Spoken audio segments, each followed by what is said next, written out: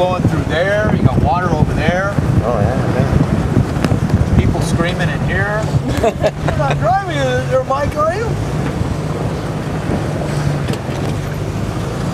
Okay, we have pontoons on the side of the jeeps, but we don't really.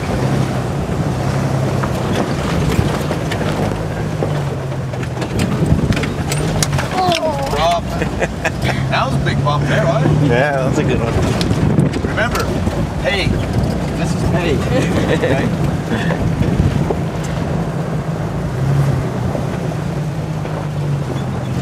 to the right out here, this little depression in the, in the ground, uh, Dry Creek area. Favorite hangout for mule deer? See any deer out? Nope. Oh, yeah. Hang on back there. I'm getting some air back here. Good, good. Whee! What I'm talking about. Lifting you up off the seat, huh? I might do pink Jeep for my job.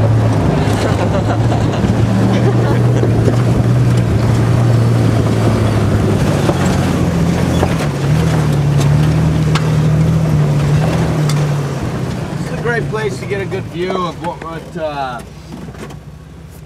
what we can see out in the distance out there. The highest peaks out there to the left.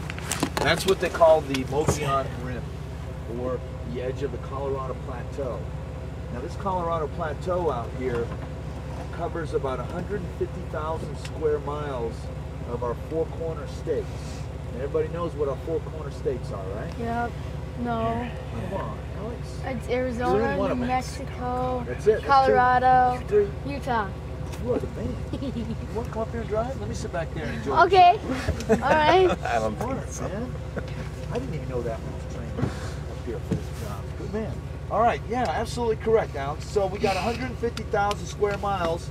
It's a heart-shaped Could've done it. plateau. If you're standing on the Grand Canyon looking down into that giant hole in the earth, you are standing on the Grand, on the Colorado Plateau in New Mexico. All the way in the northwestern edge of North New Mexico is part of the Colorado Plateau. All the way up into Utah, uh, probably about uh, 150 miles. Uh, you're going to get run into. You're still on the Colorado Plateau. This is the southwestern edge right there, as far as your eyes can see. And geologists tell us that it's eroding on the way up to the Grand Canyon, creating all this beautiful, uh, like the Verde Valley out here, the Red Rock Buttes. It's eroding away.